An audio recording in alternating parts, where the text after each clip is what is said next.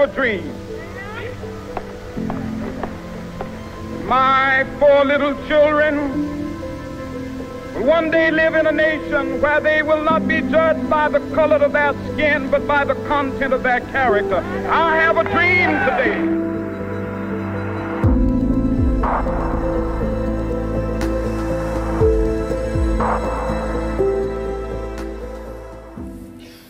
I have a dream. Die Serie heißt aber We have a dream.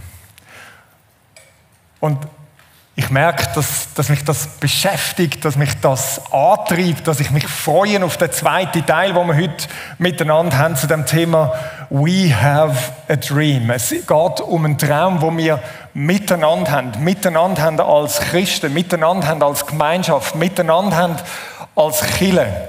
Und darum glaube ich, ist die Serie, der Vierteiler, auch so zentral, so wichtig, weil es um den Traum Gottes, den Traum von Jesus geht, wo wir letzte Woche gesehen haben, wo durch den Heiligen Geist einen, einen ganzen bestimmten Boost bekommen hat, so richtig Fuß gefasst hat. Letzte Woche ab Pfingsten haben wir gesehen, durch den Geist Gottes ist der Traum in einer anderen, in einer neuen Art und Weise Realität geworden, hat angefangen, Realität zu werden. We have a dream. Und wir haben gesehen, es bricht eine neue Zeit an. Durch den Traum.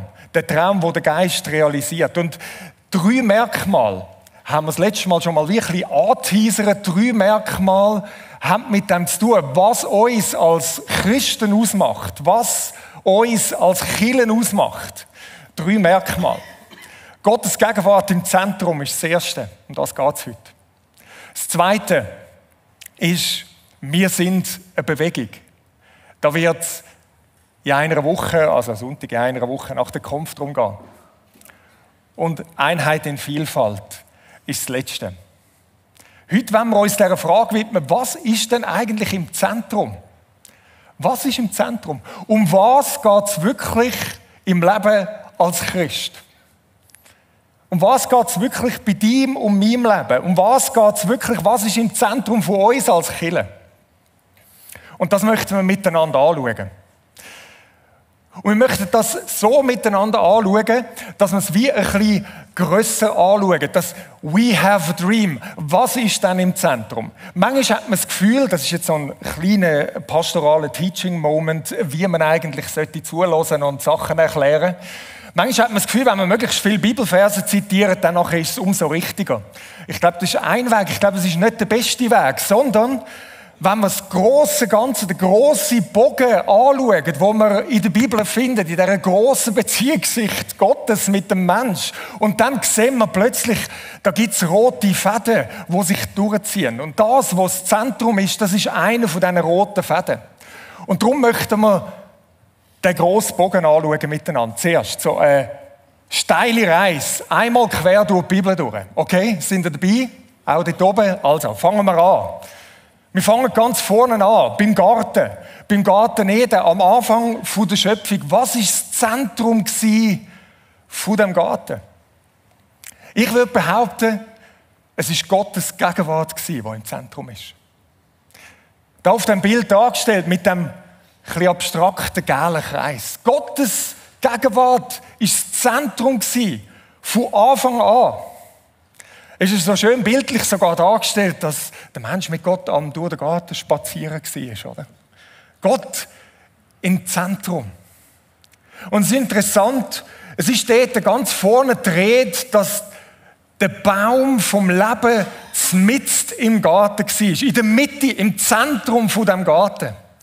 Und ich wage zu behaupten, und ich glaube, es ist nicht mal eine Behauptung, dass der Baum vom Leben auch Symbol ist für die Gegenwart Gottes. Gott selber, wo das Leben in Person ist. Gott selber, von ihm, wo alles Leben ausfließt. Der Baum wie symbolisch, ja, das ist das Zentrum. Gottes Gegenwart im Zentrum von Anfang an. Nichts sonst. Es kann nur ein Zentrum geben, oder? Und dann geht es weiter. Wir wissen, die Geschichte geht weiter. Es kommt zu einem Bruch. Der Mensch, der sich eben nicht auf das Zentrum, auf Gott selber ausrichten, das Gefühl hat, er dreht um sich selber und es fängt eine tragische Geschichte an. Und dann kommen wir zu dem Volk, zu dem Volk Israel, wo Gott auserwählt hat. Und die sind unterwegs, sie sind rausgeführt aus Ägypten. Und was ist dort im Zentrum? Ein Zelt. Zum Teil wird das Zelt von der Begegnung genannt, finde ich eine wunderschöne Ausdrucksweise. Wir kennen es auch als Stiftshütte. Gott zmitzt unter seinen Leuten. Im 2. Mose 29, 45 lesen wir, dass Gott sagt, und ich will, und jetzt haben wir wieder den Ausdruck in der Mitte, in der Mitte der Kinder Israels wohnen und ich will ihr Gott sein. Gottes Gegenwart im Zentrum. Das Volk Israel campiert sozusagen um die Gegenwart Gottes. Das Zentrum von dem ist das Zelt von der Begegnung. Gottes Gegenwart im Zentrum. Und dann gehen sie weiter. Sie gehen in das verheißene Land. Sie werden sesshafter. Aus dem Zelt wird etwas weiter. Es wird ein, ein Gebäude oder ein Tempel. Und auch da, was ist das Zentrum? Gottes Gegenwart ist das Zentrum von dem Tempel. Und wieder in der Mitte und das zieht sich durch. Im ersten Könige lesen wir das. Und ich will in der Mitte der Kinder Israels wohnen und will mein Volk Israel nicht verlassen. In der Zwischenzeit muss er das nochmal speziell betonen, oder? Nach all dem, was vorgefallen ist. So baute Salomo das Haus und vollendete es. Der Tempel als der Ort, das Symbol für die Gegenwart Gottes. Gott in der Mitte. Aber das ist noch nicht gesendet. Sondern Gott wird noch radikaler. Gott wird noch radikaler. Er kommt in einer Art und Weise, wo der Horizont von allen aufgesprengt hat. Er kommt und er wird Mensch. Zmitzt unter ihnen. Und das lesen wir im Johannesevangelium, gerade im ersten Kapitel, der wunderbar bekannte Johannesprolog. Er das Wort, das Wort, das ist ja noch so etwas Abstraktes, oder? Der Logos, wo die Griechen gewusst haben, ja, das ist das Zentrum und das geht. Er, das Wort, wurde Mensch und wohnte mitten unter uns. Und das ist noch spannend. Die, die mich kennen, wissen vielleicht, ich stehe auf Fußnoten, oder? Machen wir in dieser Predigt ab und zu mal eine Fußnote, so eine interessante Randbemerkung. Machen wir da eine Fußnote, okay? Wohnte mitten unter uns. Das Wort wohnen ist ein so ein interessantes Wort. Das heißt eigentlich zelten. Das Wort Gottes hat unter ihnen zeltet. Das ist das gleiche Wort, das für die Stiftshütte steht. Er hat sozusagen umgestiftshüttet. Tabernakelt. Das ist das, was dort dreht ist. Und es ist klar, wenn das so gebraucht wird, heißt das, schau mal, Stiftshütte, das Zentrum von Gottes Gegenwart, Tempel, das Zentrum von Gottes Gegenwart, da kommt ein neuer Tempel, eine neue Stiftshütte, da kommt der Jesus und er kommt im Fleisch und Blut, Gegenwart Gottes kommt mit unter sie. In einer Art, was es bis dahin so nicht gegeben hat. Und wir haben seine Herrlichkeit gesehen. Eine Herrlichkeit, wie sie nur der eine und einzige vom Vater hat, erfüllt mit Gnade und Wahrheit. Gottes Gegenwart im Zentrum. Und es ist spannend, die Gegenwart Gottes ist umgelaufen dort, ist zu den Leuten gekommen. Es ist nicht mehr so gewesen, dass in erster Linie die Leute haben müssen die Gegenwart Gottes aufsuchen, sondern er ist zu ihnen gekommen. Und das letzte Mal am letzten Sonntag haben wir gelernt, Jesus hat etwas Radikales gesagt. Er hat gesagt, wisst ihr was, es ist besser, dass ich gehe, dass das passiert, wo ich eigentlich wirklich will, dass passiert. Dass die Gegenwart Gottes im Zentrum nochmal auf eine andere Art und Weise kommt. Und das ist ja Pfingsten passiert. Auf das gehen wir jetzt nicht nochmal spezifisch ein, sonst muss letzte Woche nochmal ähm, reinschalten auf Prisma TV. Der Heilige Geist kommt und der Heilige Geist, der Ruach, Pneuma, der Wind Gottes, das, was man so nicht richtig fassen kann, kann man sagen, das ist die wirksame Gegenwart Gottes, wo nicht nur kommt, sondern, so wie es die Bibel ausdrückt, sich so eng mit diesen Nachfolgern verbindet, dass er in ihnen ist. dass plötzlich ganz viele Leute Träger von dieser Gegenwart Gottes werden und einen Unterschied machen auf dieser Welt. Die Gegenwart Gottes ist im Zentrum. Aber auch da ist noch nicht Schluss. Wir gehen hin in eine Vollendung.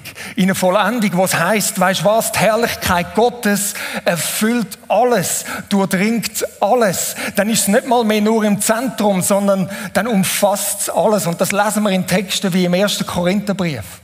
Damit Gott alles in allem sei. Das ist das, wo wir führen schauen, wo wir nach hoffen, wo wir sagen, ja, das wird mal umfassend um sich greifen.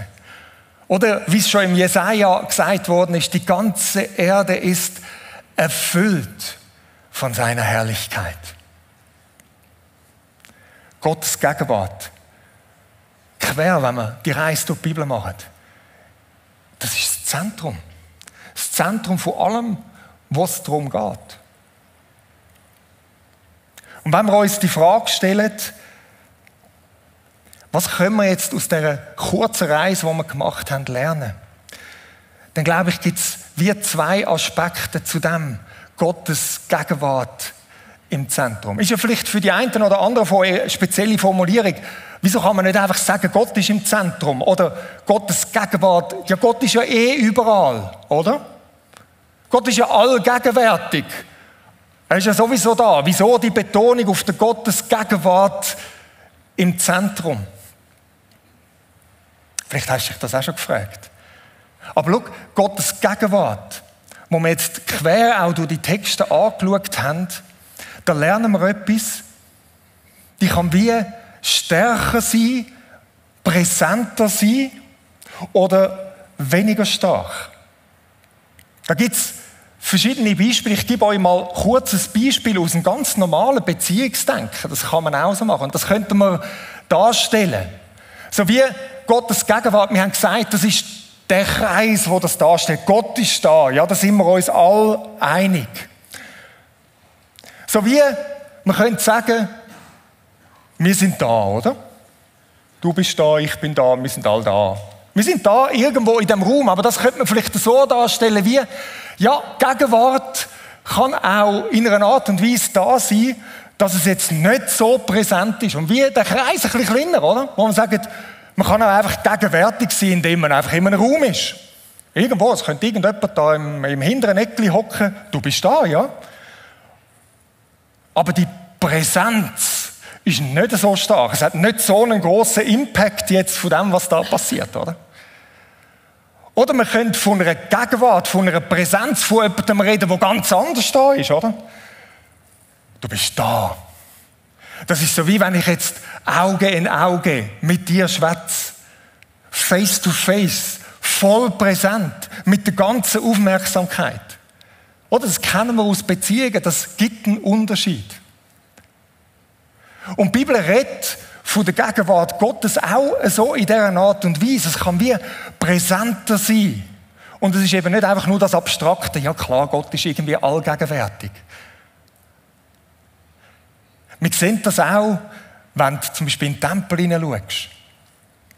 Kannst du sehen, ja genau, alleine der Tempel oder die Stiftshütte ist Symbol für Gottes Gegenwart. Aber da hat es einen Vorhof gehabt. Und dann ist das Heiligtum gekommen. Und dann ist das Allerheiligste gekommen. Und wie die Gegenwart Gottes, die Präsenz von ihm hat wie zugenommen. Und dann ist da noch die Bundeslade. Und dort auf dem Deckel auf der Bundeslade, dort ist das Zentrum von der Gegenwart Gottes symbolisch gesprochen von dem. Ja, genau. Also es gibt dort einen Unterschied. Es ist nicht einfach nur das Abstrakte, ja, Gott ist ja da. Und das führt uns vielleicht zum nächsten. Das führt uns zum nächsten Aspekt von Gottes Gegenwart im Zentrum. Wenn man das so sagt, dann hat das auch mit uns zu tun, oder? Die Gegenwart von jemandem, wenn es einfach ist, Gott ist da, Gott gibt es, Gott im Zentrum, könnte man auch sagen. Gott muss einfach im Zentrum, ist, kann man das sehr abstrakt, kann man das nehmen. Ja, ja, Gott ist wichtig, Gott ist das Wichtigste, was es gibt, er ist im Zentrum. Aber Gottes Gegenwart, seine Präsenz im Zentrum, heißt es involviert uns. Es hat etwas mit uns zu tun. Mit dir, mit mir, mit uns als ganze Kille. Und aus dem heraus heisst es, Gottes Gegenwart ist auch eine Anfrage an uns. Eine Anfrage ab Verbundenheit mit uns. Und das könnte man so darstellen, oder? Gottes Gegenwart im Zentrum hat wieder andere Kreis, wo uns angeht. Ja, wir sind verbunden mit ihm. Sind wir ausgerichtet auf ihn? Ist eine Frage. Oder man könnte auch die Frage stellen, es ist noch entscheidend, wo wir sind dort drin. Das könnte man auch anders darstellen.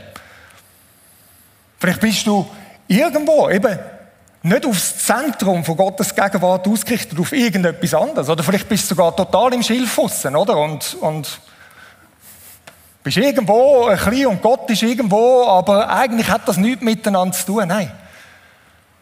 Gottes Gegenwart im Zentrum heißt, wir sind mit ihm verbunden, wir sind auf ihn ausgerichtet. Und der zweite Korintherbrief druckt das, also einer von meinen Lieblingsversen, das ist schon so. 2. Korinther 3, 18 bringt das wunderbar auf den Punkt, die Verbindung mit ihm. Wir alle aber, wir alle, du, du im Livestream, wo auch immer, wir alle aber, indem wir mit unverhülltem Angesicht, das unverhüllte Angesicht, da könnte man jetzt eine eigene Predigt drüber machen, spannend, wieso das da steht, heißt ganz einfach freien Zugang, nichts, wo dazwischen ist, nichts, wo man müsste verstecken. Wir können kommen zu ihm, seine Gegenwart. Was für ein unglaubliches Vorrecht. Wir können kommen mit dem, was wir haben, die Präsenz face to face, von Angesicht zu Angesicht. Wir können kommen. Indem wir mit unverhülltem Angesicht die Herrlichkeit des Herrn anschauen. Und das Wort Herrlichkeit da, das wäre Fußnote 2, ist so ein spannendes Wort. Herrlichkeit, eher. Im Hebräischen heißt das Kabot. Und Kavot, das Wort tönt schon das heißt Gewicht auch. Das heißt, was für ein Gewicht, oder? Hat Gottes Präsenz. Wir können seine Präsenz, seine Kavot, seine Herrlichkeit können wir anschauen. Ist die gleiche Herrlichkeit, wie man mal darauf einsteuert? Nein. Und das heißt das nächste, wie in einem Spiegel, oder? Antike Spiegel, Spiegel sind nicht so klar gewesen, wie unsere, die wir heute haben. Das ist ein bisschen eine, eine ruppige Angelegenheit gewesen, wenn man dort reingeschaut hat. Und in einer gleichen Art und Weise, wir können vollkommen, sehen wir absolut klar. Nein, wir sind nicht absolut klar. Aber wir können trotzdem kommen. Seine Präsenz ist trotzdem da. Und jetzt, was passiert? Wir werden verwandelt in dasselbe Bild. Wir werden ihm ähnlich. Jetzt stell dir das mal vor, die Verbindung. Wir sind mit ihm, wir schauen ihn an, wir kommen und während wir auf ihn ausgerichtet sind, seine Gegenwart im Zentrum haben, passiert, dass ich verwandelt wird in sein Bild, was seine ursprüngliche Absicht von Anfang an war. Im Ebenbild Gottes geschaffen, ihm ähnlich. Wir werden ihm ähnlich. Von Herrlichkeit zu Herrlichkeit. Nämlich vom Geist des Herrn. Der Geist Gottes, wo das bewirkt. Gottes Gegenwart im Zentrum. Und das geht als Christ. Das geht bei uns. Jetzt denkst du, so gut, nette Gedanken, nehme ich mit. Finde ich gut, wenn du das machst. Aber vielleicht ist es noch ein bisschen abstrakt. Was heißt denn das konkret, Gottes Gegenwart im Zentrum haben? Und das möchten wir jetzt noch miteinander anschauen, was es heißt, Gottes Gegenwart im Zentrum zu haben. Und wir möchten zwei Aspekte anschauen. Zuerst, was heißt das persönlich für dich und für mich? So du und ich. Und dann ein zweiter Aspekt, was heißt das für uns als Killer? Weil das hat auch etwas mit uns als Killer zu tun. Es ist nämlich nicht nur du und ich, sondern es ist auch ein Wir, wir miteinander. Was heißt das? Und manchmal hilft es, statt dass man anschaut, was das jetzt alles heißt, dass man auch anschaut, was es eben nicht heißt. Ja, wenn Gottes Gegenwart im Zentrum ist, was ist denn nicht im Zentrum? Und das kann vielleicht schon noch unbequem werden, wenn du das mal überlegst, was eben nicht im Zentrum ist, wenn Gottes Gegenwart soll im Zentrum sein. Und das möchten wir miteinander anschauen. Das ist nämlich die Herausforderung, oder? Ganz oft, einfach dargestellt, sind wir im Zentrum. Auf die eine oder andere Art. Und das wird einem manchmal vielleicht gar nicht so bewusst, dass wir im Zentrum sind. Lassen wir mal ein paar Sachen sagen, was nicht im Zentrum ist, was nicht zentral ist oder das Zentrum ist. Das Zentrum von dem, was darum geht, in deinem Leben als Christ, in deinem Verhältnis zu Gott im Glauben, ist, dass du dich wahnsinnig gut fühlst. Sagt man so einfach, oder? Dass du irgendwie merkst, ah, ich fühle ich fühle irgendwelche geistlichen Gefühle, ähm, Sachen, ja, ist eigentlich nichts anderes, als du drehst, bleibst eigentlich bei dir selber stehen. Wenn es darum geht, ich muss Hauptsache irgendwie etwas spüren, dann bleibst du bei dir selber stehen. Oder irgendwie auf der Suche nach einem besonderen Erlebnis, nach einem geistlichen, besonderen Erlebnis, ist nicht im Zentrum. Die einen sind jetzt vielleicht in einem Raum und sagen, habe ich schon lange gesagt dann ist vielleicht das Nächste für dich. Weil Erkenntnis ist auch nicht im Zentrum. Wissen, ich sage es mal sehr provokativ, möglichst viel Wissen anzueignen durch Bibel lesen, ist auch nicht im Zentrum. Jetzt stehen der eine vielleicht schon die Nackenhaare auf und denkt, der hat er jetzt gerade gesagt, die Bibel ist nicht wichtig. Nein, habe ich nicht gesagt. Ich habe gesagt, Wissen und Erkenntnis auch super wenn du in der Bibel Forschung machst, ist nicht das Zentrum. Ist nicht das Zentrum.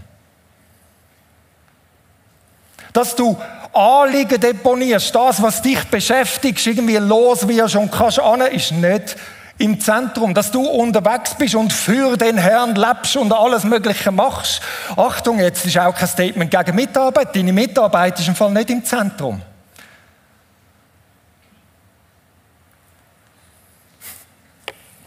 Das alles ist auch wichtig. Ja. Und das ist mir wichtig zu sagen. All das hat einen Platz, ist wichtig, ist ein guter, wichtiger Teil, aber es ist nicht im Zentrum.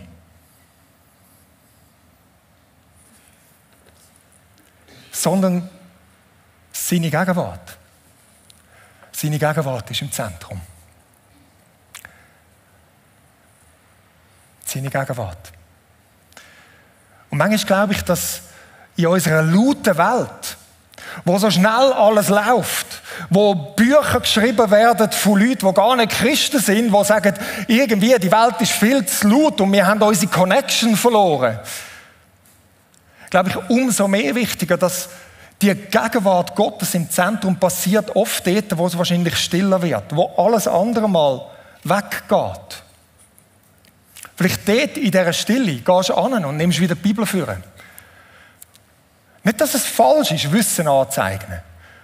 Aber wenn Gottes Gegenwart im Zentrum ist, ist das Zentrum auch von dem, wenn ich die Bibel lese, seine Gegenwart zu entdecken.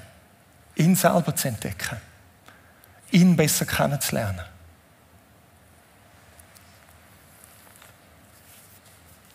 Gottes Gegenwart im Zentrum kann heißen, dass vielleicht ein Zugang zu ihm, wo die einen meditativ nennen, nicht zu verwechseln mit irgendwelchen fernöstlichen Meditationen oder kontemplativ, zur Ruhe kommen und einfach sich auf ihn ausrichten. Sage ich bin jetzt da. Ich benutze dich nicht als Mittel zum Zweck. Ich will auch nichts Spezielles von dir. Ich komme zu dir in deine Gegenwart. Ich genieße es, dass du jetzt da bist. Ich richte mich aus auf dich. Ich verbringe einfach Zeit bei dir. Das ist gar nicht so einfach. Aber ich glaube, das könnte es heißen, Gottes Gegenwart ins Zentrum setzen. Das Bewusstsein, er ist da und einfach zu geniessen, dass er da ist. In den letzten Wochen ein Beispiel. Ich, ich hatte einen stillen Tag. Gehabt. Äh, Barbara und ich, also meine Frau und ich, wir machen das einmal im Monat, kommt ein fixer stiller Tag, ein Tag sie, ein Tag ich. Und manchmal passt das voll und manchmal passt es überhaupt nicht. Diese Woche hat es überhaupt nicht passt. Schon eine verkürzte Woche. Ich bin sonst noch einen Tag weg gewesen. Eigentlich unglaublich viel. Und dann fand jetzt das. Habe ich gefunden, ja genau, jetzt das. Ich habe eigentlich noch eine Predigt über die Gegenwart Gottes, weißt Ja genau. Und jetzt zu kommen, das ist nicht einfach gewesen. All das andere, was tut und macht, sagen, Gottes Gegenwart im Zentrum. Und ich kann euch jetzt nicht die ganz grossen Glory-Stories erzählen und sagen, und dann bin ich geflasht worden. Und ich bin gestärkt aus dem Tag. Ja, also, äh, ist sicher besser gewesen als vorher. Aber nein, es ist nichts Spezielles passiert. Gottes Gegenwart im Zentrum muss nicht immer heißen, es ist gerade unmittelbar etwas Spezielles passiert. Ausgerichtet auf ihn. Sagen, du im Zentrum, das ist es. Wie wäre das, wenn das zu einem Teil von unserem Alltag wird? Und das können so spezielle Zeiten sein. Es kann auch anders sein. Meine Frau macht im Moment etwas, das hat sie nicht erfunden, sondern äh, haben wir auch schon anders gemacht. Sie hat so eine alte Uhr von unseren Kindern ausgegraben. Komischerweise läuft die immer noch, wo sie kleiner sind. Die piepst alle Stunden. Mega mühsam. In fünf Minuten piepst Und wenn das piepst, ist es eine kleine Erinnerung. Gott ist da. Und einen kurzen Moment, wo auch immer das bist, es piepst und sagen, ich nehme mir einen Moment bewusst zu machen, Gott ist da. Vielleicht einfach das, Gottes Gegenwart im Zentrum. So Sachen können uns vielleicht helfen. Das für dich und mich ganz persönlich. Aber Achtung, es ist nicht einfach nur Gott und ich. Es sind nicht einfach nur, weißt du mit ihm und ich mit ihm. Nein, wir sind miteinander vor ihm. Wir sind eine Gemeinschaft. Wir sind als Killen unterwegs. Und das heißt auch, was heißt das für uns als Kille? Gottes Gegenwart im Zentrum. Das kann nämlich ganz ähnlich ablaufen, dass wir uns auch als Kille um uns selber drehen.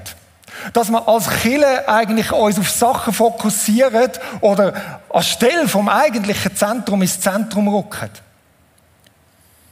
Gefahr ist, dass das Zentrum nicht mehr das Zentrum ist. Auch als Kille. Und jetzt könnte man alles Mögliche anschauen. Nehmen wir mal den Gottesdienst. Was ist das Zentrum vom Gottesdienst? Ich sage euch mal, was nicht das Zentrum vom Gottesdienst ist. Achtung, jetzt müsst ihr euch warm anlegen, oder? Das Zentrum vom Gottesdienst ist im Fall nicht das, was ich jetzt gerade mache. Das Zentrum vom Gottesdienst ist nicht eine Predigt. Aber wir haben doch früher gesagt, wir gehen in die Predigt. Nein, das Zentrum vom Gottesdienst ist keine Predigt. Da könnte man jetzt auch ein bisschen länger daran stehen bleiben, wie das dazu gekommen ist in der Kirchengeschichte, dass man das Gefühl hat, vielleicht dass das Predigtszentrum wäre. Ist es nicht. Und wenn du im Livestream eingeklinkt bist, sorry, jetzt werde ich mühsam, Einfach sich einen Gottesdienst reinzuziehen, eine Predigt reinzuziehen, ist nicht das Zentrum vom Gottesdienst. Wir können noch so viele YouTube-Predigten hören. Das ist nicht das, was im Gottesdienst darum geht. Das ist nicht das Zentrum. Das Zentrum vom Gottesdienst ist im Fall auch nicht schöne Lieder singen oder gute Musik zu haben. Sorry, liebe Worshipper. Das sind glorreich, oder? Also wir sind begeistert von unseren Worshipper. Aber sorry, Musik und all das ist nicht im Zentrum. Ist nicht das Zentrum. Das Zentrum vom Gottesdienst ist auch nicht Gemeinschaft miteinander haben, tolle Leute zu treffen. Ja, jetzt wegen dem haben mich ein paar vielleicht jetzt nicht mehr gern, gell? Ist nicht das Zentrum. Ist nicht das Zentrum. Das Zentrum vom Gottesdienst ist nicht einmal, dass du, vielleicht auch wenn du neuer da bist oder schon lange da bist, das die findest. All das ist wichtig, ja. Absolut wichtig, ein wichtiger Teil. Und ich will das nicht schmälern und wir werden das auch noch in den weiteren Teil sehen. Aber es kann nur ein Zentrum geben. Und das Zentrum ist Gottes Gegenwart. Wir kommen zusammen in einem Gottesdienst, um uns auf Gottes Gegenwart auszurichten. Um zu kommen und in seine Gegenwart einzutreten, gemeinsam ihn anzubeten. Kann man das mit Musik machen? Ja, wir machen es mit Musik. Anbetung heißt, ich richte mich aus auf ihn. Ich bin fokussiert auf ihn, losgelöst von all dem, was in mir drin abgeht. Das ist eins von diesen Sachen, wo Gottesdienst ausmacht, wo uns hinweist auf das Zentrum. Und ich weiß schon, es gibt vielleicht Leute, die sagen, ah, das, das mit dem Worship und so, das geht mir alles zu lang. Ich komme dann einfach später rein und komme dann gerade auf Predigt, oder? Wenn der Ablauf immer gleich ist, kann man das machen. Sage ich, ah, irgendwie nicht verstanden, um was im Gottesdienst geht. Das heißt, wir sind miteinander und beten ihn an. Ich verstehe das. Verstehst du, wenn sie so einer Worship-Zeit, wie man sie nennt, wo du irgendwie vier, fünf Lieder nacheinander singst. Wenn du einfach sagst, jetzt haben wir Lieder und ich stehe da und ich schunkel ein bisschen mit und gehen wir mit diesen Liedern, die einen passen mir gar nicht, das kannst du abhängen, ist mir völlig klar. Habe ich auch schon oft gemacht.